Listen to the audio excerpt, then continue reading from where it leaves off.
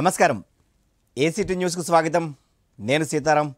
ఈరోజు వార్తల ముఖ్య అంశాలు.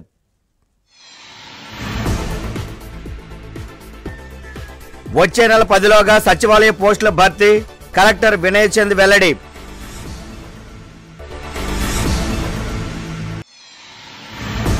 కార్మిక శాఖ మంత్రి తనయుడు కారు బహుమతి విషయమై ఏసీబీకి టీడీపీ ఫిర్యాదు. విచారణ జరపాలని మాజీ మంత్రి అయ్యన్న డిమాండ్.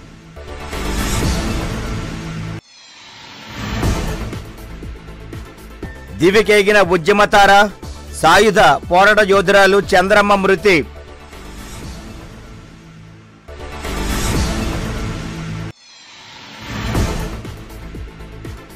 కొత్త ట్రాఫిక్ సిగ్నల్స్తో ట్రాఫిక్ జామ్ ఇబ్బందులు పడుతున్న వాహన చోదకులు.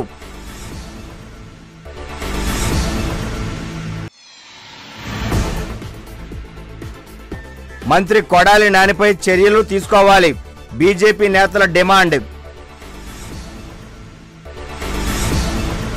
వార్తలోని వివరాలకు వెళ్దాం సచివాలయ వాలంటీర్ వ్యవస్థలను మరింత బలోపేతం చేసి ప్రజలకు సత్వర సేవలు అందించే దిశగా ప్రభుత్వం చర్యలు తీసుకుంటోందని జిల్లా కలెక్టర్ వి. వినయచంద్ చెప్పారు. సచివాలయాల తనిఖీల్లో భాగంగా పెందుర్తి మండలం సరిపల్లిలోని సచివాలయాన్ని జిల్లా కలెక్టర్ సందర్శించారు. ప్రజలకు అందుతున్న సేవలు సిబ్బంది పనితీరుపైన ఆరా తీశారు. ఈ సందర్భంగా నూతనంగా నిర్మితమవుతున్న సచివాలయ పనులను పరిశీలించారు. అనంతరం మీడియాతో ఆయన మాట్లాడారు.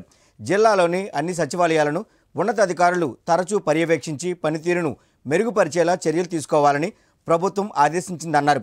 వచ్చే మార్చి నాటికి గ్రామ వార్డు సచివాలయాలతో పాటు రైతు భరోసా కేంద్రాలు గ్రామీణ ఆరోగ్య కేంద్రాలకు స్వంత భవనాలు సమకూర్చేలా ప్రణాళికలు సిద్ధం చేస్తున్నామని చెప్పారు. సుమారు ఐదు వందల ముప్పై సేవలను సచివాలయాల ద్వారా ప్రజలకు అందిస్తున్నామని గుర్తు చేశారు.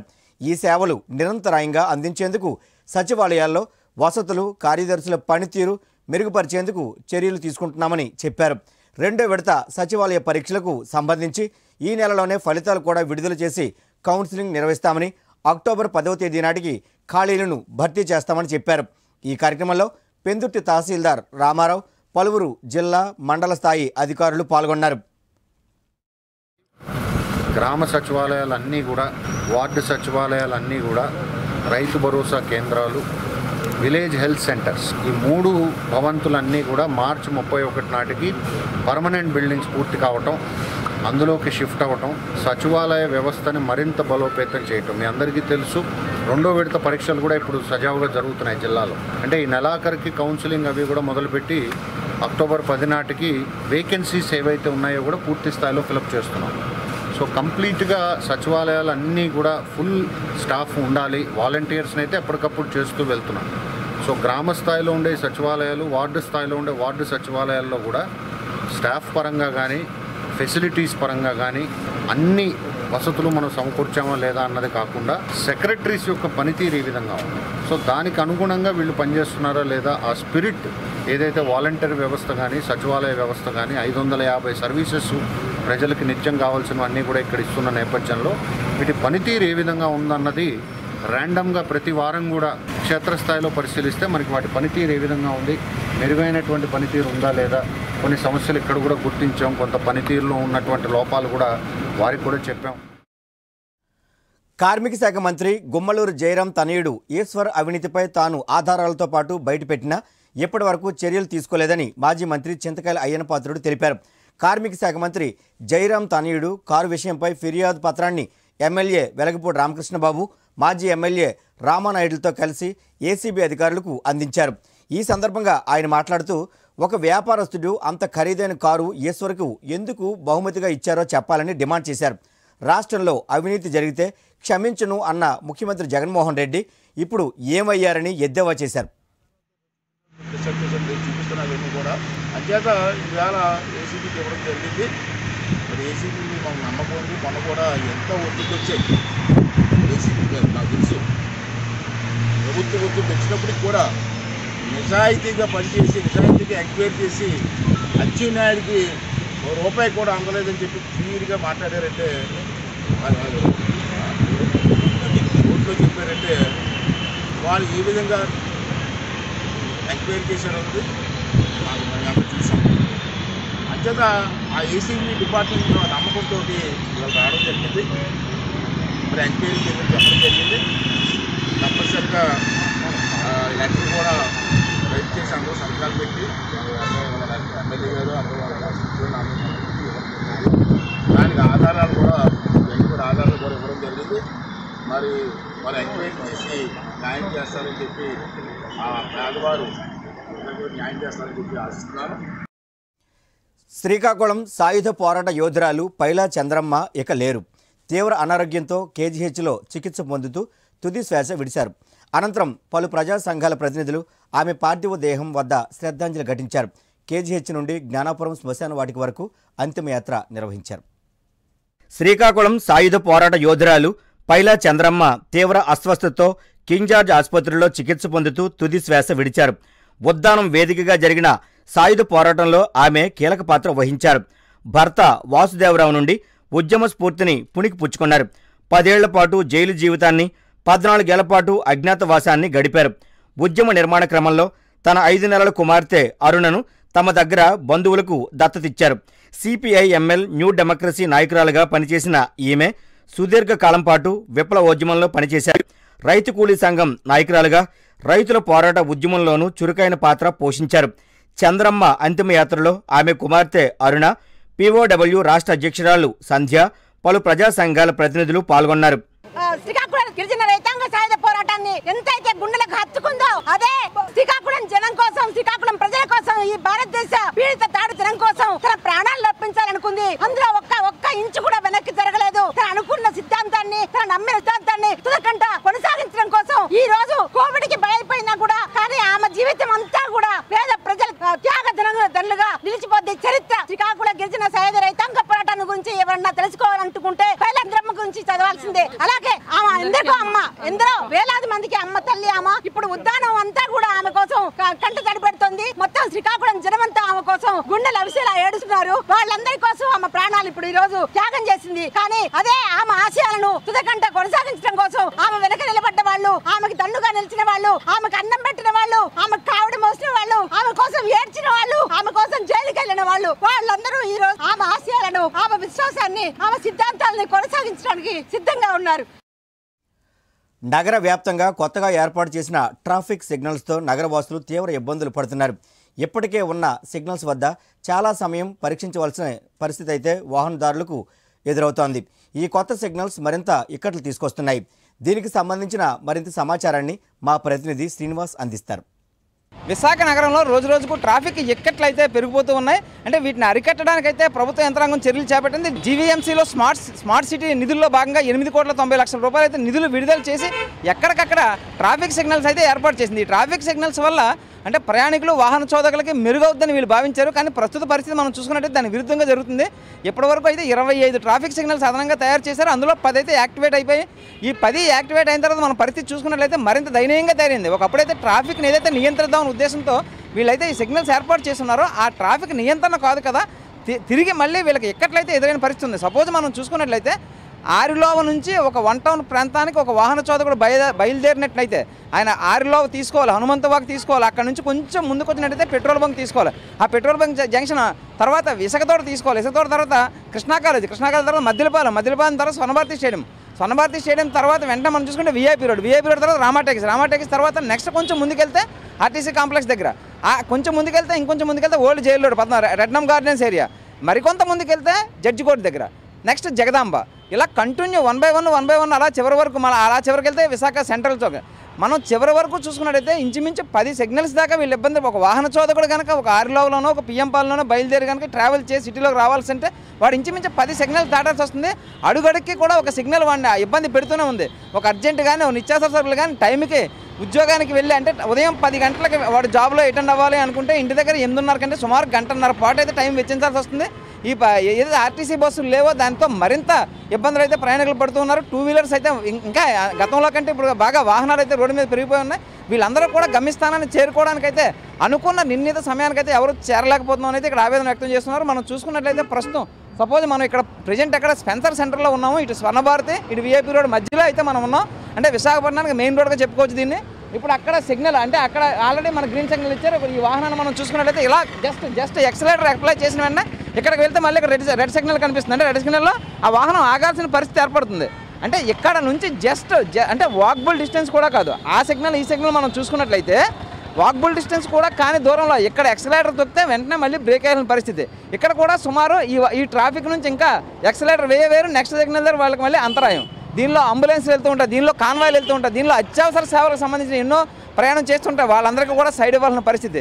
ప్రస్తుతం మనం చూసుకున్నట్లయితే అలాంటి అంబులెన్స్లు వస్తే సైడ్ ఇచ్చే పరిస్థితులు కూడా లేవు. ఎందుకంటే ఆరిలోలో అయితే మనకు మెడికల్ హబ్ ఉంది. ఇటు చూస్తే కేజీహెచ్ లాంటి హాస్పిటల్స్ ఉన్నాయి. రామనగర్లో చూస్తే ఆ సెవెన్ హిల్స్ కేరు లాంటి హాస్పిటల్స్ ఉన్నాయి. ఇలాంటి హాస్పిటల్స్ అటు నుంచి ఇటు ఇటు నుంచి ఇటు మార్చాల్సిన పరిస్థితి వస్తుంది. అలాంటి మార్చాల్సిన పేషెంట్లు కూడా తీసుకురావాలంటే ఈ రోడ్డు అంతా కూడా అంత అనుకూలంగా అయితే లేనట్టే మనకు కనిపిస్తూ ఉంది. ఈ సిగ్నల్స్ ఏవైతే కోట్ల రూపాయలు వెచ్చించి ఏర్పాట్లు చేశారో ఆ ప్రయాణికులకి మేలు జరుగుతుందని భావించి ప్రభుత్వ యంత్రాంగం తీసుకున్న ఈ చర్యలు అయితే అంటే మళ్ళీ వీళ్ళకి ఎక్కట్లే అధిక ఎక్కట్లే తెచ్చి పెడుతుందని మనం చెప్పుకోవచ్చు. త్వరలో పరిపాలనా రాజధాని కాబోతుంది. ఇప్పటికే రోడ్లన్నీ ఇరుగ్గా ఉన్నాయి ఇరుగ్గా ఉన్న ఈ రోడ్లకు తగ్గట్టుగానే వాహనాలు అయితే విపరీతంగా పెరిగిపోతున్నాయి. రోడ్లు చూస్తే ఇరుగ్గా ఉన్నాయి వాహనాలు చూస్తే ఎక్కువగా ఉన్నాయి. ఈ పరిపాలనా రాజధాని అయితే మరింత ఈ వాహనాలు పెరిగి విహా విశాఖ వాసులను అయితే ఇంకా ఇబ్బందులకు గురిచేసే గురి చేసే పరిస్థితి అయితే నెలకొని ఉంది. ప్ర ఈ ఇబ్బందులన్నింటినీ దృష్టి పెట్టుకొని దీనికి తగ్గట్టుగా అంటే వాహనదారుల అభిరుచి అభివృద్ధికి మే అంటే అభిరుచి ఆయన వాళ్ళ యొక్క నిర్ణయాలకి వాళ్ళ అభిమతానికి తగ్గట్టుగానే ప్రభుత్వాలు అయితే చర్యలు తీసుకోవాలని అయితే ఇక్కడ మనకి ఇక్కడ మనకి ప్రయాణికులు అయితే చెప్తూ ఉన్నారు. వాహన చోదరులకు నిర్ణయాలు తగ్గట్టే ప్రభుత్వాలు కూడా పనిచేస్తాయని అయితే ఆశిద్దాం.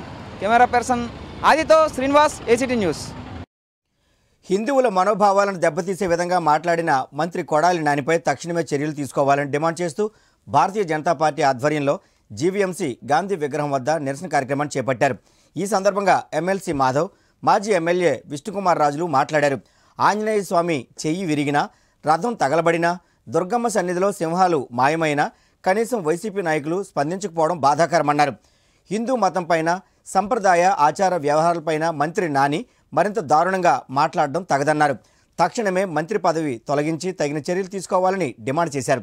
భారతీయ జనతా పార్టీ నగర అధ్యక్షులు రవీంద్ర ఆధ్వర్యంలో జరిగిన ఈ కార్యక్రమంలో అధిక సంఖ్యలో పార్టీ కార్యకర్తలు పాల్గొన్నారు. చేస్తున్నాడో దేవీ దేవతలు దూషిస్తున్నాడో ఆంజనేయ స్వామి బొమ్మ దాని చెయ్యి విరిగిపోతే ఏమిటి అని చెప్పి అత్యంత నిస్సిగ్గుగా మాట్లాడిన కొడాలి నానిపైన ఎటువంటి చర్యలు తీసుకోకుండా ఆయన దానికి పెట్టేయకపోయి ఇంకా నేను ఎక్కువ మాట్లాడతాను. నిజమే కదా మాట్లాడుతున్నాను. నన్నెందుకు మీరందరూ ఇన్ని మాటలు అంటాడని చెప్పి తర్వాత రోజు మాట్లాడి మళ్ళీ తర్వాత రోజు తిరుమల తిరుపతి దేవస్థానం డిక్లరేషన్ పై ఏదైతే నిర్ణయం తిరుమల తిరుపతి బోర్డు తీసుకుందో దానిపైన మాట్లాడుతూ అత్యంత హేయంగా నీచంగా దిగజారుడుగా ప్రధానమంత్రి నరేంద్ర మోడీ గారిని యోగి ఆదిత్యనాథ్ గారి పైన ఏవైతే వ్యాఖ్యలు చేశారో ఈ వ్యాఖ్యలు పట్ల భారతీయ జనతా పార్టీ తీవ్ర ఆక్షేపం తెలియజేస్తూ వెంటనే నిజమైన చిత్తశుద్ధి ముఖ్యమంత్రికి ఉంటే వెంటనే కొడాలి నానిని బత్రఫ్ చేయాలని చెప్పి మేము డిమాండ్ చేస్తున్నాం. ఈ విధంగా మాట్లాడటం కారణంగా గతంలో చంద్రబాబు నాయుడు గారు కానీ బాలకృష్ణ గాని నరేంద్ర మోడీ గారి పట్ల అలాగే అనేక రకాల విషయాల పట్ల మాట్లాడడం కారణంగా ఈరోజు ఏ పరిస్థితి ఉందో ఒకసారి గమనించాలి. ఒకసారి తప్పు తెలుసుకొని క్షమాపణ కోరిక బేషరత్గా విత్డ్రా చేసుకోవండి విత్డ్రా చేసుకోకుండా. రెండు రోజులు ఇంకా ప్రలాపనలు పల్లి నిన్న విపరీతంగా మాట్లాడటం ఏదైతుందో భారతీయ జనతా పార్టీ తీవ్రంగా ఆక్షేపించి బతరఫ్ పరిపాలనా రాజధాని కాబోతున్న విశాఖలో క్రైమ్ రేటు కూడా విపరీతంగా పెరిగిపోతోంది. పాత గాజువాకలో ఆటో డ్రైవర్ని బెదిరించి తాళాలతో ఆటోని దోపిడీ చేసిన ఆరుగురు ముఠా సభ్యులను పోలీసులు అదుపులోకి తీసుకున్నారు. సిపి కాన్ఫరెన్స్ హాల్లో ఏర్పాటు చేసిన మీడియా సమావేశంలో డీసీపీ సురేష్ బాబు ఆయా సంబంధిత కేసు వివరాలను వెల్లడించారు.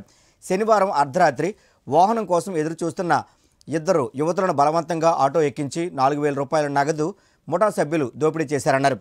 దారి దోపిడీలకు పాల్పడుతున్న ముఠా సభ్యులపై మైచర్ల గణేష్ నాగమల్లి ఎల్లాజీ తాళ్ళూరి రవికుమార్తో పాటు ముగ్గురు మైనర్లను కూడా అరెస్ట్ చేసి రిమాండ్కు తరలించినట్లు చెప్పారు.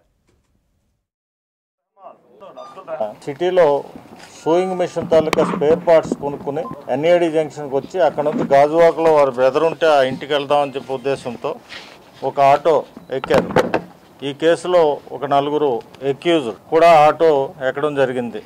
వారి పేర్లు ఏంటంటే నాగమల్లి ఎల్లాజీరావు మైచర్ల గణేష్ వాలి రాజు గుడిపూటి పండారి బాబు. ఈ నలుగురు కూడా అందులో ఎక్కడం జరిగింది. ఆటో ఏమో గాజువాక వైపు వెళ్తుంది. వెళ్తున్నప్పుడు ఈ కాకాన్ నగర్ దాటి ఆటో మన ఎయిర్పోర్ట్ జంక్షన్కి వెళ్ళే దగ్గరలోకి వచ్చేసరికి ఈ నలుగురు కూడా ఈ ప్యాసింజర్ ఎవరైతే సూర్యప్రకాష్ ఉన్నారో ఆయన మీద పడి ఆయన దగ్గర ఉన్న నాలుగు వేల ఎనిమిది వందల రూపాయలు క్యాష్ ఒక సెల్ ఫోను లాక్కోవడానికి ఆయన్నేమో విపరీతంగా కొట్టడం ఆ పెనుగులాడడం జరుగుతోంది. ఈ విషయాన్ని చూసి ఆటో డ్రైవరు అప్పటికే ఇది జరుగుతూ ఉంటుండగానే శిలానగర్ దగ్గరికి వచ్చారు. ఆపోజిట్లో ఈ ఆటో కన్ఫ్యూజన్గా రావడం చూసి అటు నుండి వస్తున్న మన ఆర్ఎస్ మొబైల్ ట్రాఫిక్ వాళ్ళ ఆర్ఎస్ మొబైల్ అందులో ఉన్న ఏఎస్ఐ గారు వాళ్ళు వీడిని అటకాయించడం జరిగింది. ఎప్పుడైతే పోలీసుని చూశారో వారు ఏం చేశారంటే ఈ ఆటోలో ఉన్న ప్యాసింజర్ని ఆటో నుంచి బయటికి తోసేసి వాళ్ళు కూడా దూకి పారిపోయారు. ఆ గాజువాక జంక్షన్లో ఉన్న ఒక ఆటో డ్రైవర్ ఉంటే వాడిని శుభ్రంగా కొట్టేసి వాడి దగ్గర ఉన్న ఆటోని రాబ్ చేసి రాబరీ చేసి ఆ ఆటోని దొంగలించి ఆ ఆటోని తీసుకుని పన్నెండు గంటల సమయంలో కోరమన్పాలెం జంక్షన్కి వచ్చారు. అప్పుడు ఆ సమయానికి ఏమైందంటే ఒక ఇద్దరు అమ్మాయిలు విజయవాడలో బస్సు ఎక్కి అనకాపల్లి వెళ్ళడానికి వాళ్ళు బస్సులో ప్రయాణం చేస్తున్నారు. అయితే వాళ్ళు అనకాపల్లి వచ్చేసరికి నిద్రపోవడం జరిగింది. పొరపాటున వాళ్ళు దువ్వాడ దాకా మన కురమన్పాలెం దాకా వచ్చి అక్కడ డ్రైవర్ కండక్టర్ చెప్తే కురమన్పాలెంలో దిగి they are waiting to go to Anakapalli ఈ అమ్మాయిల దగ్గరకు వచ్చి ఎక్కడికి వెళ్తారని అడిగారు. వాళ్ళేమో మేము ఇట్లాగా అనకాపల్లి వెళ్తామని చెప్పారు. చెప్పిన వెంటనే వాళ్ళు ఎక్కించుకుని ఈ అమ్మాయిని తీసి అమ్మాయిని తీసుకుని ఈ అనకాపల్లి వైపు వెళుతూ టోల్గేట్ దగ్గరికి వెళ్ళేసరికి ఈ అమ్మాయిల్ని ఆ అమ్మాయిల దగ్గర ఉన్న వస్తువులు క్యాష్ ఒక నాలుగు వేలు అట్లాగే రెండు సెల్ ఫోన్లు ఈ బ్యాగ్స్ ఉంటే ఆ బ్యాగ్స్ తీసుకోవడానికి పెనుగులాడుతున్నారు వాళ్ళు కేకలేస్తున్నారు. ఆ కేకలేసే టైంలో అక్కడ మనకు రక్షక మొబైల్ ఉంది. పరవాడ రక్షక మొబైల్. ఇమీడియట్గా వాళ్ళు ఈ ఆటో పాస్ అవ్వడం చూసి దాన్ని ఎమడబడి ఆప మన కేకలేస్తూ ఉంటే వాళ్ళు ఏం చేశారంటే కొంత దూరం వెళ్ళి ఈ వస్తువులు తీసుకుని ఇద్దరు అమ్మాయిల్ని తోసారు బండిలోంచి. ఆ టైంకి ఆఫీసర్స్ కూడా ఇంటర్ఫేర్ అయ్యి ఇమ్మీడియట్గా వాళ్ళందరినీ న్యాప్ చేయడం జరిగింది. ఈ నలుగురు ముద్దాలను కూడా పట్టుకోవడం జరిగింది. టోటల్ ప్రాపర్టీస్ రెండు కేసులు ఈ మూడు కేసుల్లో ఉన్న ప్రాపర్టీస్ని కూడా రికవరీ చేయడం జరిగింది. అరెస్ట్ చేసి రిమాండ్కి పంపించారు. నగరంలో కొన్ని చోట్ల ప్రభుత్వ భూములు గెడ్డలు చెరువులు అన్యాకృతమవుతున్నాయి ఈ నేపథ్యంలో రెవెన్యూ అధికారులు వాటిని అడ్డుకట్ట వేసేందుకు రంగంలోనికి దిగారు. ఆక్రమణలను గుర్తించి తొలగించడంతో పాటు బాధ్యులపైన చర్యలకు ఉపక్రమించారు.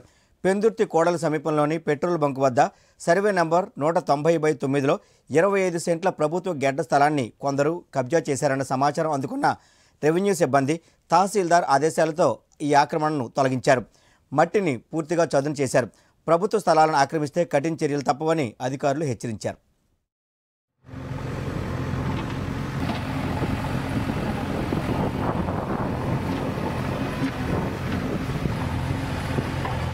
దళితులకు అన్యాయం జరిగే రైల్వే ప్రైవేటీకరణ నిర్ణయం తక్షణమే ఉపసంహరించుకోవాలని డిమాండ్ చేస్తూ all India SC ST railway ఉద్యోగుల సంఘం ఆధ్వర్యంలో దొండపర్తిలోని డిఆర్ఎం ఆఫీస్ వద్ద నిరసన కార్యక్రమాన్ని చేపట్టారు.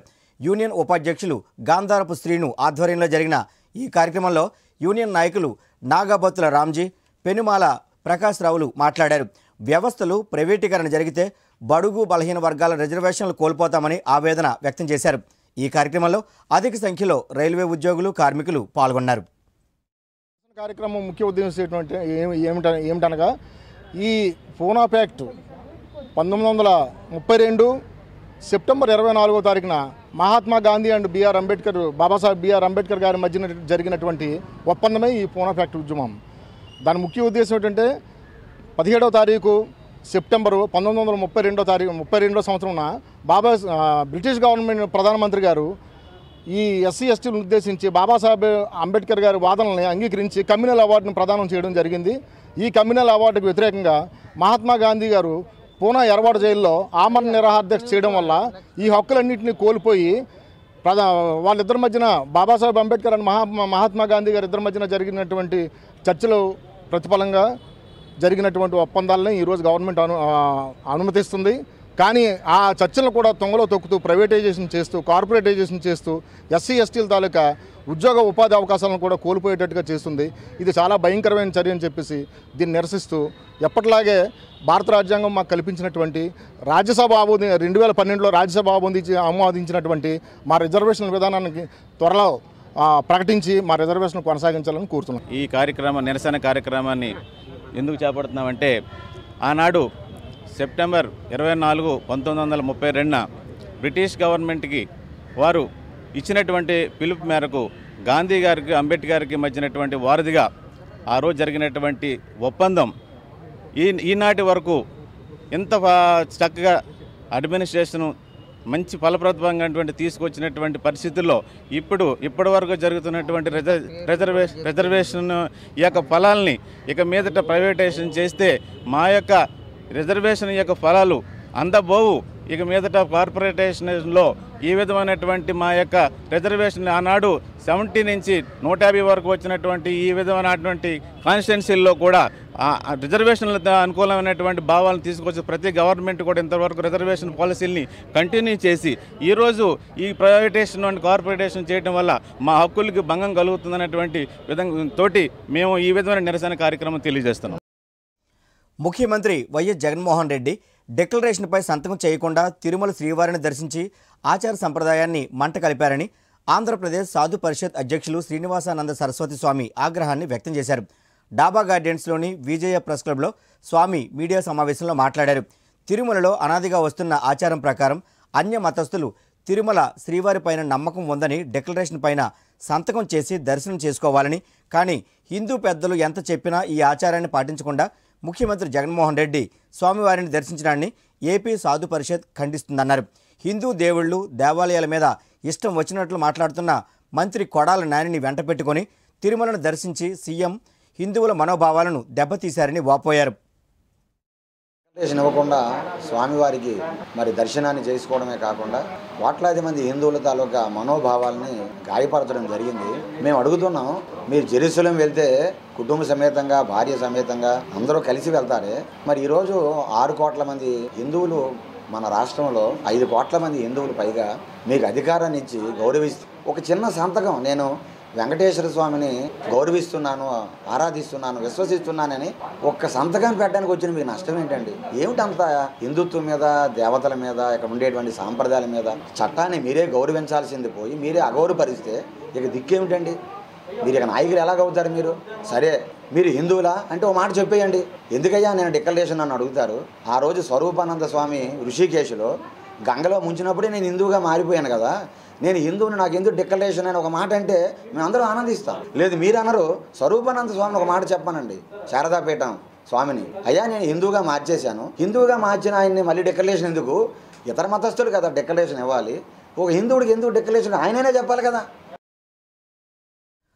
గ్రామాల్లో పనిచేస్తున్న పారిశుధ్య కార్మికులు ఎలక్ట్రీషియన్లు వాల్వ్ అండ్ పంప్ ఆపరేటర్లకు కనీస వేతనం ఉద్యోగ భద్రత కల్పించాలని సిఐటియు అనుబంధ సంస్థ సిపిడబ్ల్యూ ఆధ్వర్యంలో రోడ్డెక్కారు.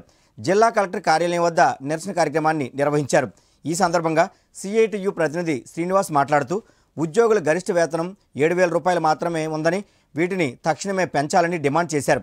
అదేవిధంగా గ్రామాల్లో చిన్న చిన్న పనులు చేస్తూ జీవనం సాగిస్తున్న ఉద్యోగులకు ఉద్యోగ భద్రత కల్పించాలని డిమాండ్ చేశారు. ఈ కార్యక్రమంలో వై అప్పలనాయుడు వై శ్రీను పైడిరాజు తదితరులు పాల్గొన్నారు. కనీస వేతనాలు అమలు చేయాలని అలాగే గత ఎనిమిది నెలలుగా బకాయిలు పడ్డ కాంట్రాక్టర్లు జీతాలు ఇవ్వకుండా ఉన్నారు. ఈ జీతాలు వెంటనే విడుదల చేయాలని ఈఎస్ఐ పిఎఫ్ అలాగే బోనస్ వంటి సౌకర్యాలు అవి కూడా మాకు అమలు చేయట్లేదు. వాటిని అమలు చేయాలని చెప్పేసి కలెక్టర్ ఆఫీస్ వద్ద ఈ ఆందోళన దిగాం. పదిహేను ఏళ్ళు ఇరవై ఏళ్ళుగా ఆర్డబ్ల్యూఎస్లో వాటర్ సప్లై స్కీముల్లో పనిచేస్తున్న కార్మికులకి విశాఖపట్నం జిల్లాలో దాదాపుగా ఇరవై ఏడు వాటర్ సప్లై స్కీములు ఉన్నాయి. ఈ స్కీమ్లన్నింటిలో కూడా కాంట్రాక్టర్లు తమ ఇష్టారాజ్యంగా ఒక్కొక్క స్కీమ్కి ఒక్కొక్క జీతాలు అమలు చేస్తున్నారు.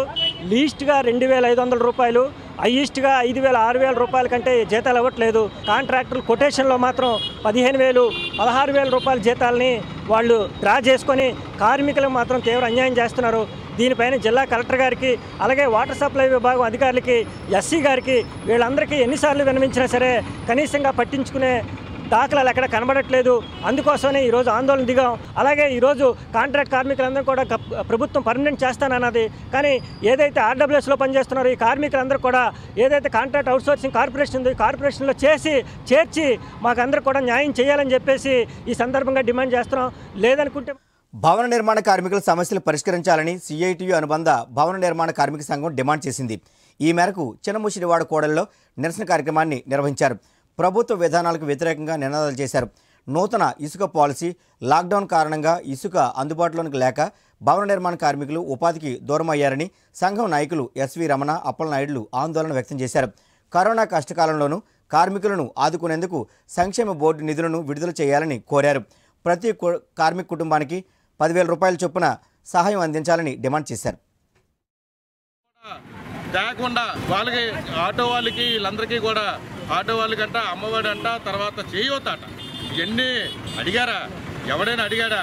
భవన నిర్మాణ కార్మికులు ఆకలితో మొలమడ మారిపోతున్నాం మా పిల్లలకి ఫీజులు కట్టుకోలేకపోతున్నాం తిండి పెట్టలేకపోతున్నాం ఇంటద్ది కట్టుకోలేక చాలామంది ఇంట్లో సామాన్లు వదిలేసి వెళ్ళిపోయే పరిస్థితి కూడా కార్మికులు జరిగింది. అందువల్ల ఏంటంటే మేము గతంలో కూడా ఇసుక ఇసుక ఆపేటప్పుడు కూడా భవన నిర్మాణ కార్మికులు ఆదుకోవాలి. వాళ్ళ అకౌంట్లో డబ్బులు పదివేల రూపాయలు ఇచ్చి ఆదుకోవాలని కూడా జరిగింది. అందులో ఈ మహమ్మారి కరోనా కూడా వచ్చి లాక్డౌన్ వచ్చి ఆరు నెలలు అంత అవుతుంది. ఆరు నెలల నుంచి కూడా భవన నిర్మాణ కార్మికుడు ఏమి తింటున్నాడనే మాట కూడా ఇక్కడ ఉన్న స్థానిక ఎమ్మెల్యేలు కానీ ఎంపీలు కానీ ఈ ప్రభుత్వం కానీ పట్టించుకోలేదు. మీరు రోడ్డు మీదకి వచ్చి మేము అడుగుతూ ఉంటే అసలు ప్రభుత్వానికి చీమ కుట్టినట్టు కూడా లేదు. ఈ రోజు రాష్ట్ర వ్యాప్తంగా భవన నిర్మాణ కార్మిక ఆకలి కేకలు ప్రభుత్వానికి తెలియజేయాలని ఈ కార్యక్రమం మేము చేపట్టాం. ఎందుకంటే కరోనా సందర్భంగా పనులు లేక భవన నిర్మాణ కార్మికులు చాలా ఇబ్బందులు పడుతున్నారు. అలాగే ప్ర- సంక్షేమ బోర్డులో నాలుగు వందల యాభై కోట్లు కూడా ప్రభుత్వం తీసేసి వాడుకోయింది. ప్రభుత్వం కూడా ప్రభుత్వం డబ్బులు వేయకపోయినా సరే సంక్షేమ బోర్డులో డబ్బులు ఈ రోజు నెలకు పదివేలు వేసినా సరే ప్రతి ఒక్క భవన నిర్మాణ కార్మికులకి అది ఉపయోగపడేది. జగన్ గారు ఇప్పటికైనా సరే స్పందించే మా భవన నిర్మాణ కార్మికుల ఆకలి కేకలు వినాలని ఈరోజు ఈ కార్యక్రమాన్ని మేము పెట్టుకోవడం జరిగింది. దయించి మన రాష్ట్ర ప్రభుత్వం అలాగే సీఎం గారు పక్కనే ఉన్న కేసీఆర్ గారు కూడా భవన నిర్మాణ కార్మికులకు లాక్డౌన్ టైంలో నెలకి పదిహేడు సంవత్సరం నెలకి పదిహేడు వందలు పదిహేను వందలు వేశారు. కానీ ఒక్క భవన నిర్మాణ కార్మికుడు కూడా మన ఆంధ్రప్రదేశ్ ప్రభుత్వం ఒక్క పైసా కూడా వేయలేదు. దయించి ఇప్పటికైనా ప్రభుత్వం స్పందించి మా ఆకలి కేకలు వినాలని ఈ కార్యక్రమాన్ని మా వచ్చి జయప్రదం చేసినందుకు మా వాళ్ళకి అందరికీ కూడా ధన్యవాదాలు తెలియజేస్తున్నాను. మీడియా ఏసీటీ న్యూస్ ముగించే ముందు ముఖ్య అంశాలు మరోసారి. వచ్చే నెల పదిలోగా సచివాలయ పోస్టుల భర్తీ కలెక్టర్ వినయ్ చంద్ వెల్లడి.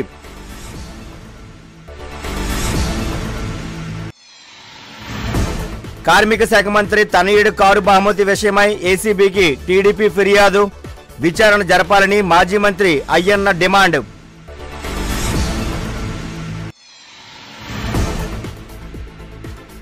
దివికేగిన ఉద్యమతార సాయుధ పోరాట యోధురాలు చంద్రమ్మ మృతి.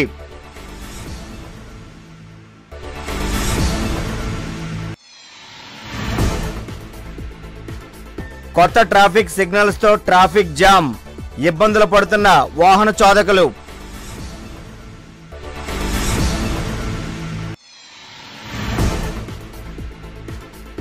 మంత్రి కొడాలి నానిపై చర్యలు తీసుకోవాలి బీజేపీ నేతల డిమాండ్. ఏసీటీ న్యూస్ ఇంతటితో సమాప్తం. నమస్కారం.